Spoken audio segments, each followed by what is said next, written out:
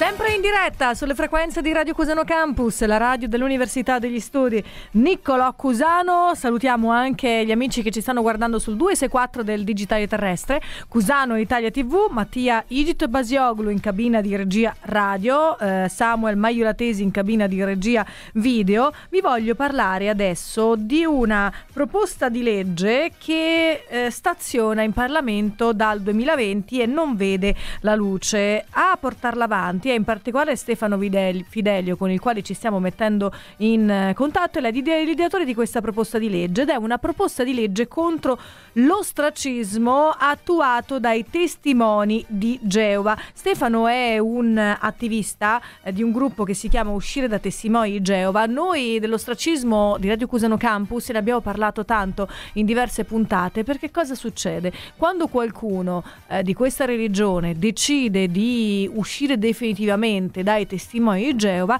viene perpetrata questa dinamica che eh, si chiama appunto ostracismo, cioè attorno alla persona che decide di lasciare i testimoni di Geova eh, viene fatta terra bruciata. Questa persona praticamente si trova totalmente sola da un giorno all'altro. È la famiglia che abbandona, cioè chiude tutti i rapporti, non si sentono al telefono, non si vedono. Eh, questa persona resta totalmente sola, in balia di se stessa. E ci sono delle persone no, che possono andare in depressione, qualcuno pensa anche a dei gesti estremi. Appunto c'è, eh, sta, sta, sta, sta, staziona ormai da diverso tempo, ormai da quasi tre anni, una legge proprio contro l'ostracismo e l'ideatore di questa proposta di legge è Stefano Fidelio ed è in collegamento con noi. Ciao Stefano, benvenuto!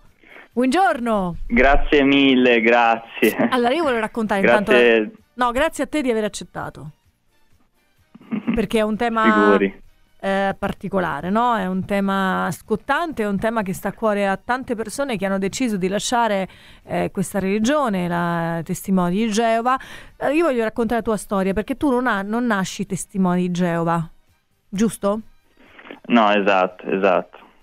Tu ti sei avvicinato eh, all'età sono di... Sono entrato dopo. Quando? Vivi... Sono entrato all'età di 22 anni più o meno, ho iniziato a studiare a 22 anni la Bibbia con loro, poi a 24 sono entrato. Ma perché ti sei avvicinato a questa religione? Eh, ero in una ricerca mia, poi insomma la, mi, portato, mi, portava le riviste, che quella che era la mamma di due mie amiche, allora poi a un certo punto mi hanno proposto lo studio siccome non conoscevo la Bibbia ero totalmente ignorante di quei discorsi lì e alla fine mi ha preso quella cosa. E devo dire avevo un po' le difese scoperte perché insomma un, uno dei motivi per i quali tendenzialmente si ci fa prendere è proprio la non conoscenza di, di certe cose. Quindi la curiosità... poi vabbè lì subentrano dinamiche poi particolari di, insomma, di persuasione che eh, insomma sono abbastanza conosciuti in ambito magari anche così di marketing. Oh, poi sì, era, era, un mio bisogno emotivo, diciamo, mm, cioè que- quelle, quelle, realtà lì fanno leva sul bisogno emotivo delle persone. Eh, spesso infatti generalmente eh, ci vanno soprattutto chi ha problemi, magari chi ha avuto un lutto, chi ha una malattia, cioè chi sta superando delle difficoltà eh, facendo leva sull'emotività poi viene azzerato un po' quello che è il senso critico delle, delle persone. Infatti io l'ho ritrovato mio, la mia razionalità dopo essere uscito, prima in un certo senso si azzera. Tu in quei due anni, eh, due anni sono stati? Come li hai passati? Perché tu sei arrivato lì a 22 anni e poi ne sei uscito all'età di 24. Hai cominciato a studiare, poi a 24 sì. anni hai deciso di abbandonarli. Quindi per te non c'è stato l'ostracismo perché la tua famiglia non, era, non è testimone di Geova? No, esatto, la mia famiglia no. Eh, allora, io sono un caso a parte, nel senso che eh, essendoci entrato dopo ed essendoci stato poco, la mia esperienza è eh, pressoché positiva, nel senso che eh, ci sono state po- poche problematiche in realtà. Eh, eh, il problema è proprio per quei giovani che ci, che ci nascono e ci crescono lì all'interno, eh, che ehm, a un certo punto poi, un po' per coesione sociale no, del gruppo, eh, vogliono battezzarsi come testimone di Geova. Io ho assistito ad esempio a battesimi di ragazzini di 12 anni. Eh, che poi qual è il problema? Eh, nel momento in cui loro poi decidessero di uscire, che succede eh, subirebbero quello che appunto lei ha ben descritto, l'ostracismo, l'isolamento mm. sociale. Cioè da un giorno all'altro, e... perché abbiamo raccontato tante testimonianze, in particolare da, eh, da, Daniele Fontano, l'abbiamo intervistato, è il, esatto. uno dei promotori anche del gruppo no? su, su, Facebook e sui social in generale, uscire dai testimoni di Geova, eh, ha sentito proprio il bisogno di raccogliere e, e radunare tutte le persone che si, si sono ritrovate sole. Praticamente ti ritrovi solo così, ma nel vero senso della parola, da un momento all'altro, con uno smarrimento che deve essere devastante. Stefano. Assolutamente. Eh, ora c'è da fare una specifica nel senso che fin tanto che si rimane all'interno delle, delle mura domestiche l'ostracismo non, non, è così grave come lo fosse nel caso in cui il figlio non vivesse con i genitori, ad esempio. Eh, cioè se tu quindi, decidi diciamo di non essere più testimone... Vengono recisi... Scusi? Quindi non ho capito Stefano, cioè vuol dire che se tu decidi di non appartenere, di allontanarti dalla religione, ma vivi ancora in casa e questo probabilmente lo accettano i tuoi genitori, l'ostracismo non avviene? Allora, si, sub- si subisce delle pressioni psicologiche, quindi subentrano sensi di colpa, eh, ammettiamo che il figlio, ad esempio, voglia affrancarsi da quella religione, la, la, prima cosa che succede è che i genitori non la fanno apposta, ma proprio per impostazione dottrinale. Eh, poi a un certo punto fanno pressioni sul figlio perché non entri, lo sai che non va bene, eccetera, eccetera. Diciamo che sol- solamente i, i legami eh, spirituali loro li chiamano, vengono recisi, cioè non fanno attività eh, spirituali della religione insieme ai figli, ma ovviamente essendo che vivono nelle stesse pareti domestiche non è che posso ignorarli.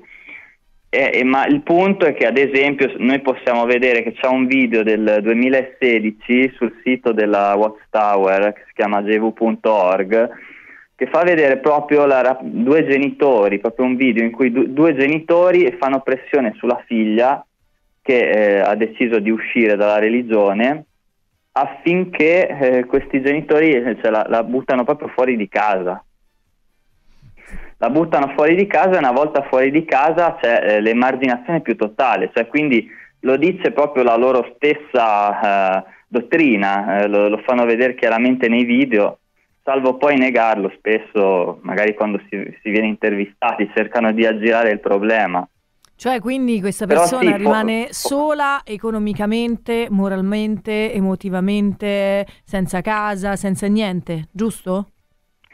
Ma lì dipende da caso a caso. C'è chi la vive in maniera più, diciamo così, fondamentalista e allora proprio i legami possono eh, proprio esacerbarsi totalmente. C'è chi invece questa eh, questo isolamento si rifiuta di, di, di, metterlo in atto. Mm. Però quando viene messo in atto, cioè la persona da un giorno all'altro si ritrova totalmente sola. Eh, praticamente sì, eh, se, quando viene messo in atto e io sono testimone eh. proprio oculare, conosco centinaia di persone, ma anche migliaia che eh, mi parlano e mi dicono che hanno pensato, almeno una volta hanno pensato a, a suicidarsi. Eh. Due, due per- una persona su due mi dice che ci ha pensato almeno a fare quella cosa. Raccontami lì. una storia, perché, perché eh, tu sei portatore anche di storie, sei testimone di storie, mm-hmm. raccontamene una per far capire anche a chi ci sta ascoltando cosa succede. Ma è una, ad esempio, di un ragazzo che si è battezzato giovane poi all'età di, di, di 19 anni è uscito eh, per ragioni appunto sue e poi è, è stato praticamente emarginato da, dalla famiglia e, ed è, oltre all'emarginazione ha dovuto subire anche delle diffamazioni. Ora lì non c'entra tanto la dottrina, però purtroppo poi nella subcultura che si innesca in certi contesti poi avviene anche una sorta di discriminazione. Cioè viene additato come traditore, tra virgolette? Mm, sì, ma anche peggio spesso, spesso anche peggio.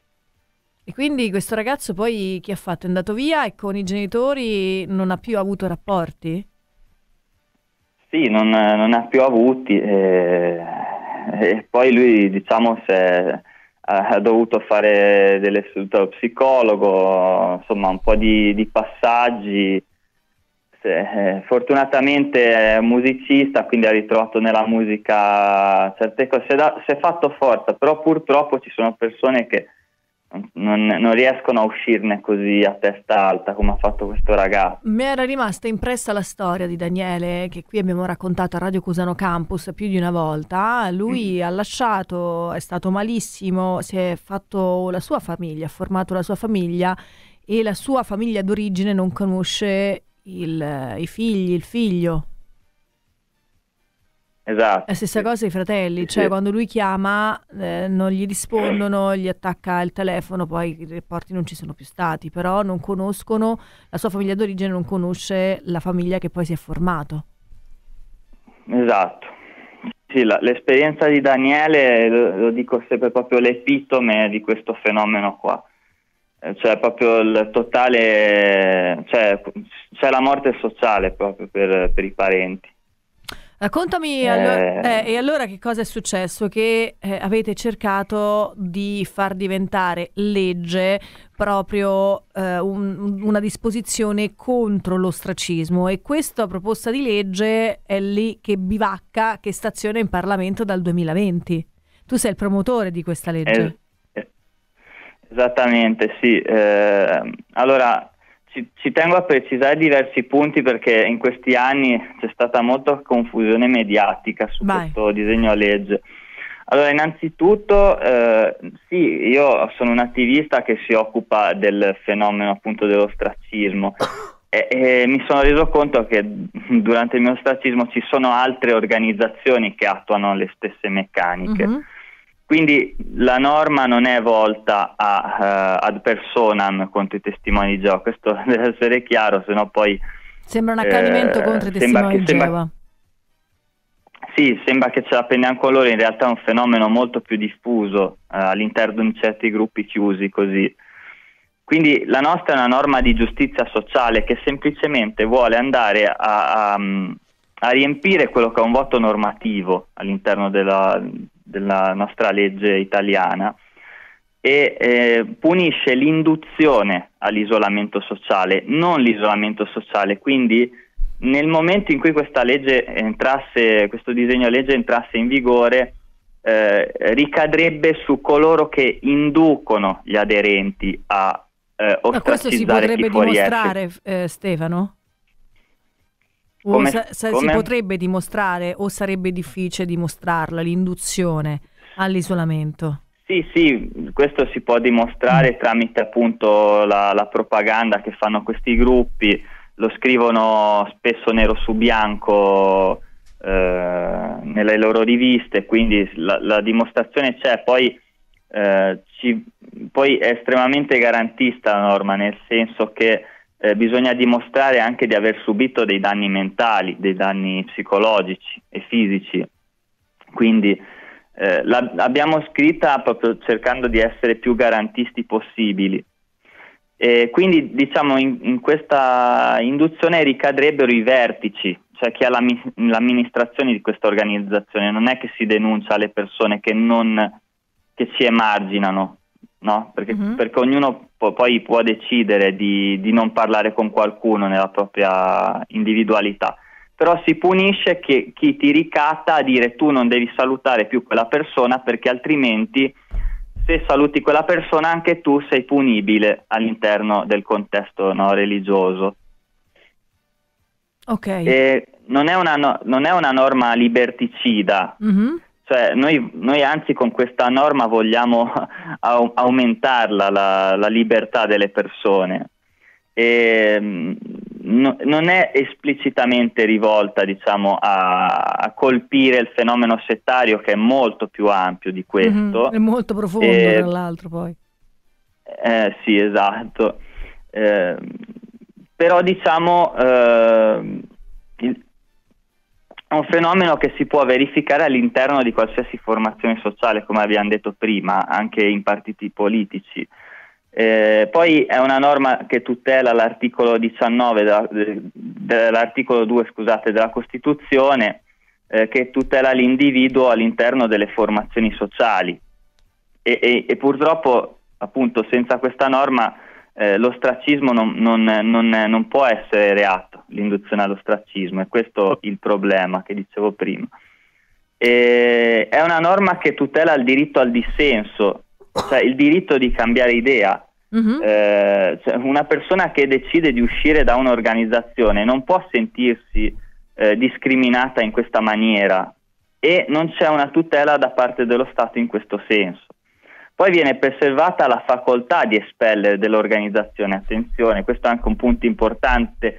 Eh, noi attivisti che eh, lamentiamo questo problema, che lo denunciamo, non è che stiamo a dire eh, è sbagliato che espellete le persone, è eh, sbagliata la conseguenza, ehm, appunto, cioè l'isolamento sociale che ne consegue, è sbagliato. Uh-huh. Sì, dicevo anche prima in armonia con l'articolo 19 che tutela le, le religioni.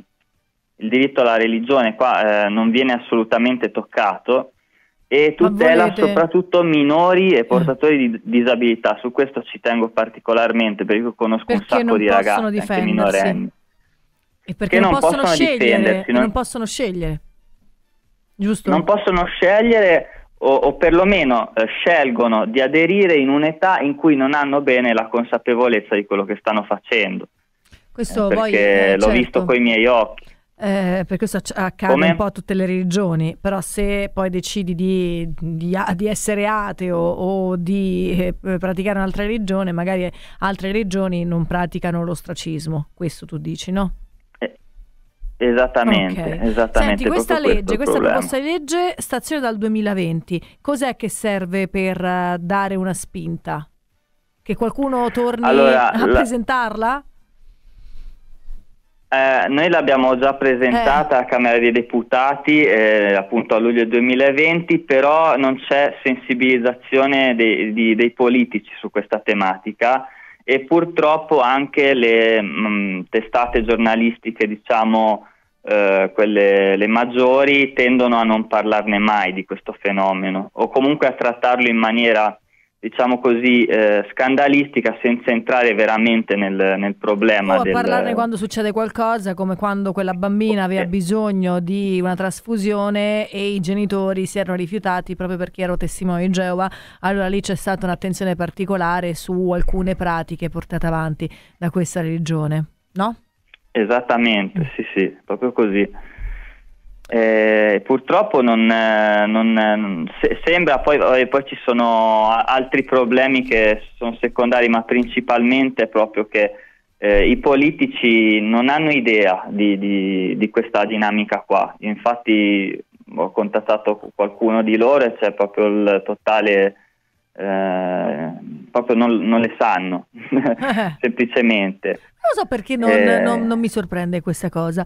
Stefano, senti, noi ci risentiamo, torniamo a parlarne quando vuoi, siamo a tua completa disposizione. Poi l'articolo di questa intervista la trovate su tag 24 by Unicusano perché eh, scripta manent verba volant, no? Quindi metteremo nero su bianco sì. questa eh, questa intervista. Stefano, grazie di essere stato con noi. Grazie mille, gentilissimi. Questa... Grazie a te, veramente. Stefano grazie, Fidelio, grazie mille. ideatore della proposta di legge contro l'ostracismo attuato dai testimoni di Geova e non solo, anche da altre religioni, da altri movimenti, presentato in Parlamento nella scorsa legislatura.